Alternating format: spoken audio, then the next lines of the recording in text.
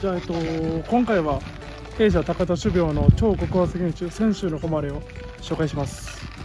えっと、うちの持ってる品種の中で一番早い玉ねぎになりまして、えっと、種まきが約8月の24日、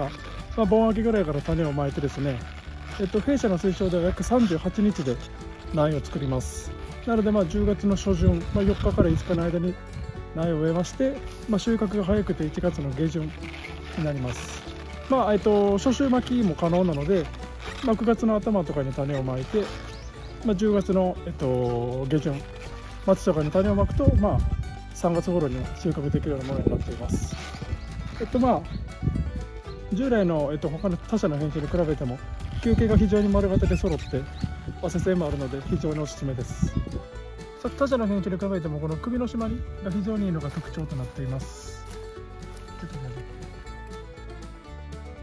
えー、と弊社ではマルチ栽培を推奨しており、えー、と収穫時には約 250g 前後の球重になります。甘くて生食で美味しくサラダ玉ねぎとしても最適です。また葉付き玉ねぎとしても収穫することができ、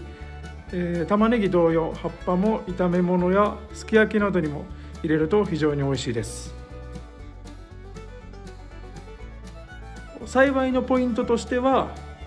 播種後38日での定食を推奨しており分休や中退を避けるために大苗での定食は避けてください。